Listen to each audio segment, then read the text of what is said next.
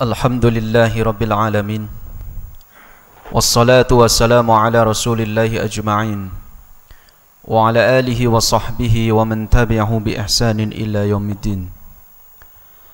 أشهد أن لا إله إلا الله وحده لا شريك له وأشهد أن محمدا عبده ورسوله لا نبي ولا رسول بعده. اللهم صلِّ وسلم على نبينا محمد وعلى آله وصحبه وبارك وسلم. قال الله تعالى في القرآن العظيم وهو أصدق القائلين يا أيها الذين آمنوا اتقوا الله حق تقاته ولا تموتن إلا وأنتم مسلمون. يا أيها الناس اتقوا ربكم الذي خلقكم من نفس واحدة وخلق منها زوجها وبث منهما رجالا كثيرا ونساء واتقوا الله الذي تساءلون به والأرحام إن الله كان عليكم رقيبا. يا أيها الذين آمنوا اتقوا الله وقولوا قولا سديدا. يصلح لكم أعمالكم ويغفر لكم ذنوبكم. ومن يطع الله ورسوله فقد فاز فوزا عظيما. أما بعد عباد الله أوصيكم ونفسي بتقوى الله وطاعته فقد فاز المتقون Hadirin jamaah Jumat yang dimuliakan Allah Subhanahu wa taala. Pasca perang Khaybar berkecamuk, Rasulullah sallallahu alaihi wasallam dan para sahabatnya menuju kemah untuk beristirahat. Demikian juga dengan musuh orang-orang kafir Quraisy. Mereka juga kembali ke kemah mereka untuk beristirahat. Kemudian di tengah-tengah para sahabat Rasulullah sallallahu alaihi wasallam terdapat seorang laki-laki yang bernama Khuzman Al-Dhafari. Dia dikenal sebagai lelaki yang gagah perkasa. Lelaki yang kuat, lelaki yang tangguh lelaki yang luar biasa pemberani di hadapan para musuhnya. Sampai-sampai para sahabat Rasulullah sallallahu alaihi wasallam ketika itu mengatakan ma ajza'u minnal yawma ahad. Min ajza'a fulan. Tidak ada seorang pun di antara kami yang bisa menandingi fulan tidak ada seorang pun di antara kami yang lebih pemberani daripada fulan. Tidak ada seorang pun di antara kami yang lebih tangguh, yang lebih kuat daripada fulan pada hari ini. Namun yang lebih mengejutkan jamaah sekalian yang dirahmati Allah Subhanahu wa taala. Tiba-tiba statement ini dimentahkan oleh Rasulullah sallallahu alaihi wasallam.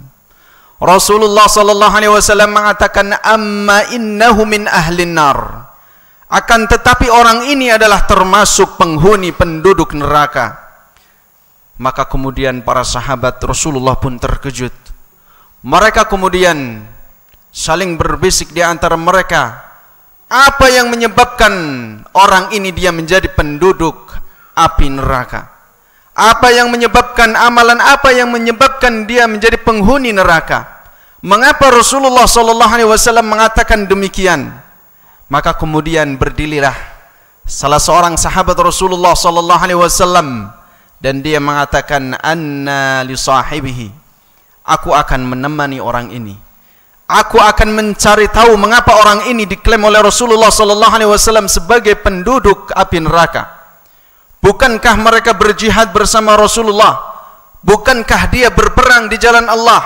Bukankah dia membunuh untuk menegakkan kalimat la ilaha illallah Maka kemudian setelah Rasulullah dan para sahabatnya beristirahat perang Khaybar pun berkecamuk kembali.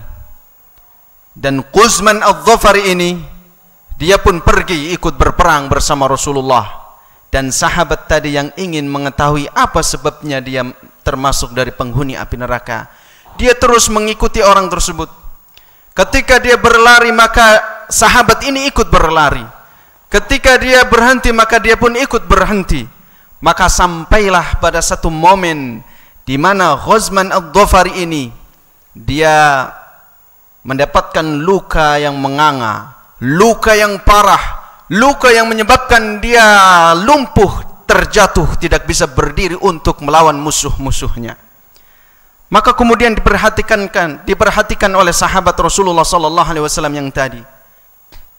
Semakin lama luka itu yang begitu menganga dan begitu parah tidak membuatnya Husman Al-Dhafari ini meninggal dunia. Dan dia pun terus menderita dengan luka itu. Namun apa jamaah sekalian yang terjadi? Ternyata Husman Al-Dhafari ini dia merasa putus asa. Dia kemudian mengambil pedangnya, meletakkan menancapkan pangkal pedang itu ke dalam tanah. Kemudian ujung tombaknya diletakkan pas di atas dadanya. Kemudian dia lemparkan tubuhnya ke pedang itu. Maka pedang itu pun menusuk jantungnya dan dia pun meninggal dunia. Kaum muslimin yang dirahmati Allah subhanahu wa ta'ala. Maka salah seorang sahabat tadi.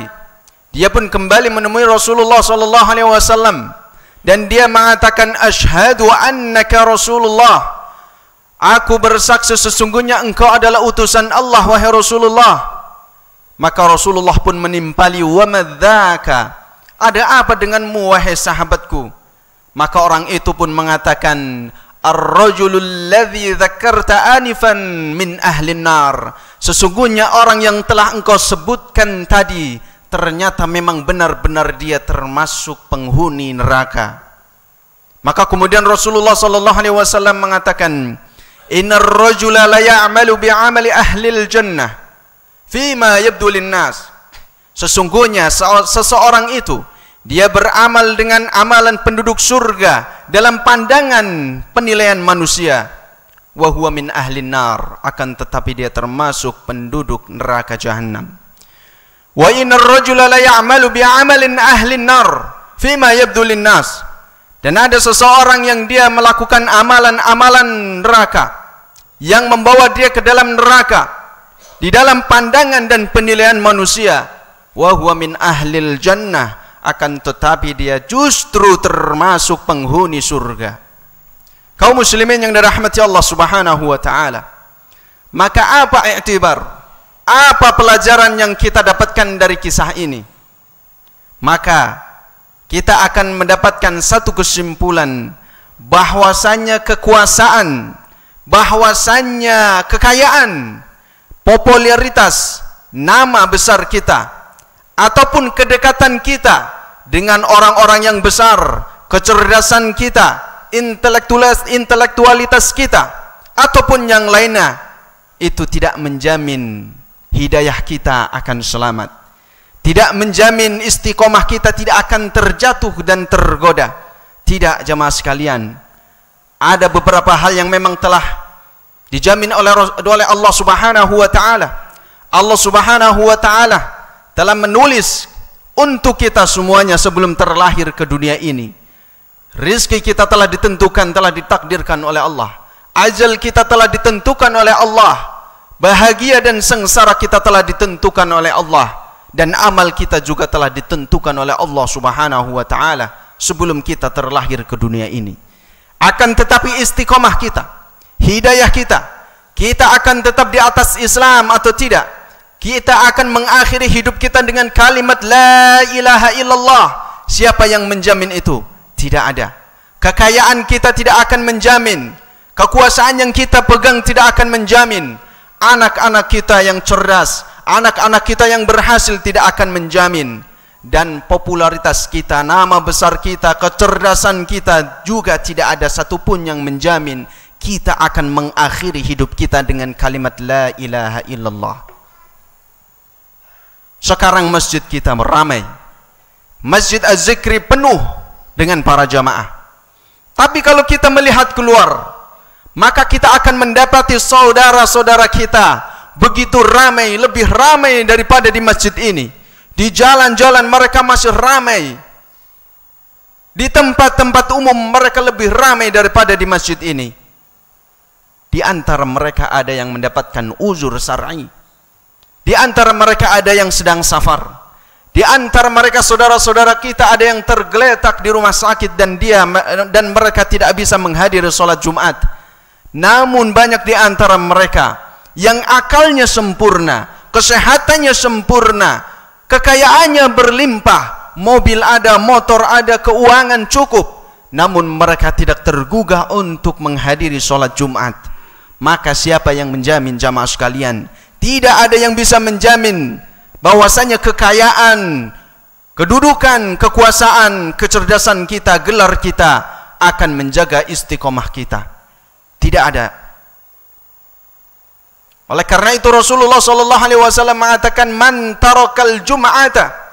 Siapa yang dia meninggalkan salat Jumat thalatha marratin tiga kali berturut-turut tahawunan biha dengan sengaja dan dia tahu kewajibannya taba'allahu ala qalbihi maka Allah akan mengunci hatinya. Maka Allah akan menutup hatinya.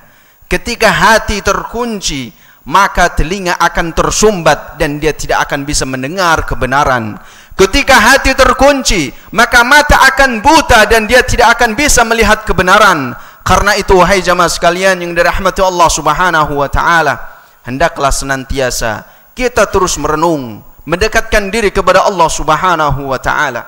Mendekatkan diri dengan majlis ilmu agar senantiasa mengingatkan kita kepada Allah Subhanahu wa taala. Sesungguhnya hidayah Allah telah memberikan kemuliaan yang sangat besar kepada kita yaitu Islam. Allah telah memberikan kenikmatan yang besar kepada kita yaitu kalimat la ilaha illallah keimanan yang ada di dalam hati kita. Namun kalau kita tidak menjaganya maka hal itu akan menjadi bumerang akan sia-sia justru akan menjerumuskan kita ke dalam api neraka. Kaum muslimin yang dirahmati Allah subhanahu wa ta'ala lihatlah Fir'aun kekuasaan yang begitu besar kekuasaan yang begitu luas. Namun tidak menyebabkan dia di akhir hayatnya mengucapkan la ilaha illallah. Lihatlah Haman yang dia dengan kecerdasannya dititipkan oleh Allah Subhanahu wa taala ke dalam dirinya. Namun dia tidak gunakan kecerdasan itu untuk menolong agama Allah. Tidak digunakan untuk menolong kalimat la ilaha illallah tidak digunakan untuk menegakkan agama Allah. Justru untuk menjilat Firaun untuk mendapatkan dua keping tiga keping emas dari Firaun. Lihatlah Qarun yang dia memiliki kekuasaan memiliki harta benda yang berlimpah. Sampai disebutkan di dalam Al-Qur'an bahwasanya kunci gudang hartanya itu tidak mampu dipukul dipikul oleh tujuh orang. Luar biasa sekali kekayaannya. Namun kekayaan itu ternyata tidak menjadikan korun dia mengakhiri hidupnya dengan kalimat la ilaha illallah kaum muslimin yang dirahmati Allah subhanahu wa ta'ala maka kedudukan sekali lagi kebesaran nama orang tua kita kebesaran gelar kita kebesaran kedekatan kita kepada seseorang yang terkenal itu tidak menjamin kita akan mendapatkan kita akan senantiasa istiqamah di atas jalan Allah Subhanahu wa taala. Dan ini pun terjadi kepada seluruh para nabi, keluarga para nabi. Lihatlah Kan'an. Dia adalah anak dari Nabi Nuh alaihissalam. Namun Kan'an dia tidak ikut ke dalam keluarga Nabi Nuh. Dia tidak ikut naik kapal Nabi Nuh supaya diselamatkan oleh Allah Subhanahu wa taala. Lihatlah Azar, dia adalah seorang ayah yang gagah perkasa, memiliki seorang anak Nabi Ibrahim. Dia adalah seorang nabi, Ibrahim adalah seorang nabi. Namun ayah ini Azar, dia tidak mengakhiri hidupnya dengan kalimat la ilaha illallah. Lihatlah demikian juga dengan Nabi Lut istrinya dia senantiasa membantu, senantiasa melayani Nabi Lut di dalam hidupnya. Tidur seranjang dengan seorang Nabi. Melayani kehidupannya untuk Nabi Lut. Namun ternyata di akhir masanya, istrinya ini tidak ikut bersama Nabi Lut. Namun dia ikut tenggelam di dalam siksaan Allah subhanahu wa ta'ala bersama kaum Sodom. Dan ini juga terjadi di dalam di dalam keluarga Nabi Rasulullah sallallahu alaihi wasallam sendiri. Bagaimana paman Rasulullah sallallahu alaihi wasallam yang dalam hidupnya dia senantiasa membela agama Islam, menjaga Rasulullah sallallahu alaihi wasallam dari orang-orang kafir Quraisy, dari intimidasi, dari ancaman pembunuhan. Rasulullah senantiasa dibela. Rasulullah senantiasa dijaga dan agama Islam senantiasa mendapatkan pembelaan dari Abu Talib. Namun di akhir hidupnya dikatakan kepadanya oleh Rasulullah sallallahu alaihi wasallam, "Qul ya ami la ilaha illallah." Wahai pamanku ucapkanlah kalimat la ilaha illallah kalimat yang akan menjadi pembelamu nanti di akhirat. Namun apa yang terjadi jemaah sekalian? Abu Talib dia mengucapkan ana ala millati Abdul Muttalib. Aku bersama, aku tetap di atas agama Abdul Muttalib, nenek moyangnya. Karena itu jemaah sekalian yang dirahmati Allah Subhanahu wa taala. Apabila kita memahami semua ini, ternyata hidayah tidaklah bisa dibeli, tidak bisa ditukar. Kalau Allah telah memberikan hidayah Islam ini, keimanan ini kepada kita, maka sekarang kewajiban kita adalah untuk menjaganya. Supaya kita menutup usia kita dengan kalimat La ilaha illallah. Maka bagaimana menjaga itu? Padahal amal itu sudah ditakdirkan oleh Allah. Kita beramal baik dan kita beramal buruk. Kita juga sudah ditakdirkan oleh Allah. La yuradul qadaru illa du'a maka tidak ada yang bisa menolak takdir itu melainkan doa. Karena itu, marilah kita jaga hidayah ini. Jaga keistiqomahan kita di atas agama Islam ini dengan doa. Senantiasa kita berdoa kepada Allah Subhanahu wa taala. Dan inilah yang diajarkan oleh Rasulullah sallallahu alaihi wasallam. Rasulullah sallallahu alaihi wasallam yang dosa-dosanya telah diampuni yang telah lalu maupun yang akan datang. Rasulullah senantiasa memberikan pengajaran dan pendidikan kepada kita. Lihatlah di dalam solat kita. Sehari semalam kita 17 rakaat kita berdiri menghadap Allah Subhanahu wa taala. 17 duduk di antara dua sujud. 17 kali kita melakukan duduk di antara 12 di antara dua sujud itu. Apa yang kita baca jamaah sekalian? Ketika rakaat setiap rakaat kita mengucapkan ihdinas siratal mustaqim. Ini menunjukkan pengajaran dari Rasulullah sallallahu alaihi wasallam agar kita senantiasa meminta hidayah kepada Allah meminta petunjuk kepada Allah meminta istiqamah di atas agama Allah Subhanahu wa taala sehingga kita benar-benar mengakhiri hidup ini dengan kalimat la ilaha illallah. Di dalam sujud kita di, di dalam duduk di antara dua sujud kita apa yang kita baca kita membaca Allahumma gfirli Ya Allah ampunilah aku. Warhamni Kasihanilah aku. Wajiburni Tutupilah dosa-dosaku. Wahdini Berilah petunjuk kepadaku 17 kali kita membaca ini. Kita berdiri sebanyak 17 kali. Kita duduk di antara dua sujud Kita sebanyak 12, 17 kali. Itu terjadi ketika kita solat wajib. Kalau kita tambah dengan 12 Solat sunnah rawatib kita tambah dengan minimal satu witir. Kemudian solat malam dua rakaat. Ditambah dengan dua rakaat solat duha minimal. Belum ditambah solat-solat sunnah yang lainnya. Maka lebih dari 34 rakaat. Lebih dari 34 kali kita membaca ihdinas suratul mustaqim. Maka renungilah ketika kita membaca al-fatihah.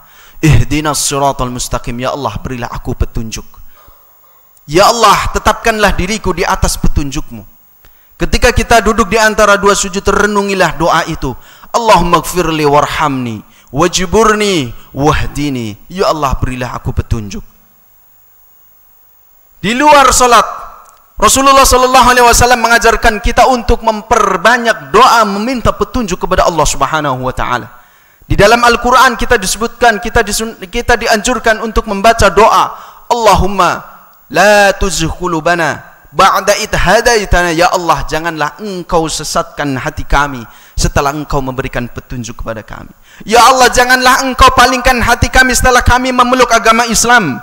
Jangan engkau goda hati kami dengan keburukan-keburukan dengan godaan-godaan dunia setelah setelah engkau menancapkan Islam di dalam hatiku. Di dalam doa lain Rasulullah mengajarkan kepada kita Allahumma inna nas'alukal huda Ya Allah aku memohon kepadamu petunjukmu. Wattuqa wal afafa wal ghina Ketakwaan Kesucian Kehormatan Dan kecukupan darimu ya Allah. Kemudian di dalam doa yang lain Kalau kita membaca zikir pagi dan zikir sore, Rasulullah sallallahu alaihi wasallam sebanyak tiga kali ketika pagi dan tiga kali ketika sore, beliau membaca Allahumma inni a'udzubika minal kufri wal faqri wa a'udzubika min adzabil qabri. Ya Allah, aku berlindung kepadamu dari kekufuran, tergelincir dari hidayah kemudian menuju kepada kekufuran, dari kefakiran dan dari azab kubur. Kaum muslimin yang dirahmati Allah Subhanahu wa taala, mari kita bersama-sama mendekatkan diri kepada Allah Subhanahu wa taala untuk menjaga hidayah ini, menjaga Islam ini agar kita senantiasa di atas kalimat la ilaha illallah sampai kita mengakhiri hidup ini dengan mengucapkan kalimat la ilaha illallah. Man qala la ilaha illallah dakhala al jannah.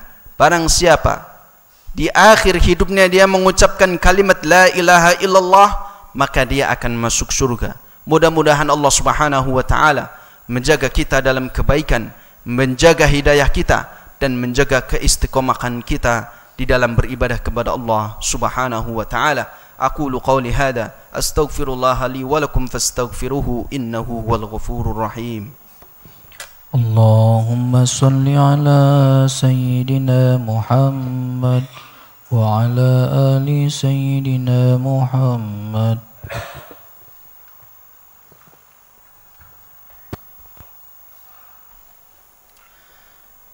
الحمد لله رب العالمين حمدا كي حمدا طيبا طيبا مباركا فيه كما يحب كما يحب ربنا ويرضاه. أشهد أن لا إله إلا الله وحده لا شريك له وأشهد أن محمدا عبده ورسوله لا نبي ولا رسول بعده. يا أيها الذين آمنوا اتقوا الله حق تقاته ولا تموتن إلا وأنتم مسلمون. kaum muslimin yang dirahmati Allah Subhanahu wa taala sebagai penutup khutbah. Marilah kita bersama-sama memperbanyak doa. Di dalam waktu-waktu dan tempat-tempat yang mustajab di dalam solat kita di dalam sujud kita di dalam duduk sebelum salam kita sepertiga malam terakhir ketika hujan setelah selesai solat ataupun tempat-tempat dan waktu-waktu yang mustajab lainnya memperbanyak doa memohon hidayah kepada Allah Subhanahu wa taala Allahumma inna nas'aluka al-huda wa al-tuqa wa afa wal-hina Rabbana la tuzikulubana ba'da idh hadaitan wa hablana min ladun qarahma innaka angtal wahab Allahumma la tusarrif kulubana ala dinik. Allahumma sabit kulubana ala dinik. Ya Allah, aku memohon kepadamu agar engkau menetapkan hati ini di atas agama. Inilah doa-doa yang senantiasa kita minta. Kenapa demikian jamaah sekalian? Karena semakin ke depan bukan dunia ini semakin tenang. Hari berganti, bulan berlalu, tahun berganti. Justru dunia ini akan semakin penuh dengan fitnah.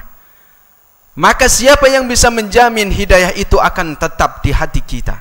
Siapa yang bisa menjamin Islam itu akan tetap di atas hati kita?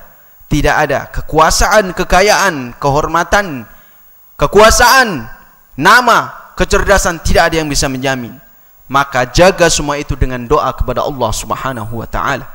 Rasulullah sallallahu alaihi wasallam mengatakan badiru bil a'mal bersegeralah kalian beramal. Fitanan ka qita'il lailil mudlim karena akan muncul fitnah-fitnah seperti potongan-potongan malam. Yusbihu ar-rajulu mu'minan wa yumsi kafiran. Pada pagi hari seseorang itu beriman namun sore hari dia kafir. Wa yumsi mu'minun wa yumsi mu'minan wa yusbihu kafiran sore hari dia beriman namun pagi hari dia kafir. Apa sebabnya? Yabi'u dinahu bi'aradin minad dunya. Karena dia menjual agamanya dengan dunia. Dengan secuil. Dengan sedikit sekoin dunia ini kekuasaan kekayaan dan lain sebagainya. Marilah kita berdoa kepada Allah Subhanahu wa taala dengan diawali bersalawat kepada Rasulullah sallallahu alaihi wasallam Inna Allah wa malaikatahu yusalluna ala nabi ya ayyuhalladhina amanu sallu 'alaihi wa sallimu taslima Allahumma salli 'ala Muhammad wa 'ala ali Muhammad kama sallaita 'ala Ibrahim wa 'ala ali Ibrahim innaka hamidun Majid Wabarik ala Muhammad wa ala Ali Muhammad kama وبارك على محمد وعلى آل محمد كما باركت على إبراهيم وعلى آل إبراهيم إنك حميد مجيد اللهم اغفر wal والمسلمات Al ahyai minhum wal والأموات إنك سميع قريب مجيب دعوات ويا قاضي الحاجات. اللهم اغفر لنا ولوالدينا وارحمهم كما ربونا صغارا. اللهم لا تزغ قلوبنا بعد إذ هديتنا وهب لنا من لدنك رحمة إنك أنت الوهاب. اللهم إنا نسألك الهدى والتقى والعفاف والغنى. اللهم يا مقلب القلوب ثبت قلوبنا على دينك. يا مصرف القلوب صرف قلوبنا على طاعتك. اللهم أصلح ولاة أمورنا. اللهم أصلح ولاة أمور المسلمين جميعا في كل مكان وفي كل الزمان. اللهم لا تسلط علينا بذنوبنا من لا يخافك فينا ولا يرحمنا. اللهم ربنا آتنا في الدنيا حسنة وفي الآخرة حسنة وقنا عذاب النار. وآخر دعوانا الحمد لله رب العالمين.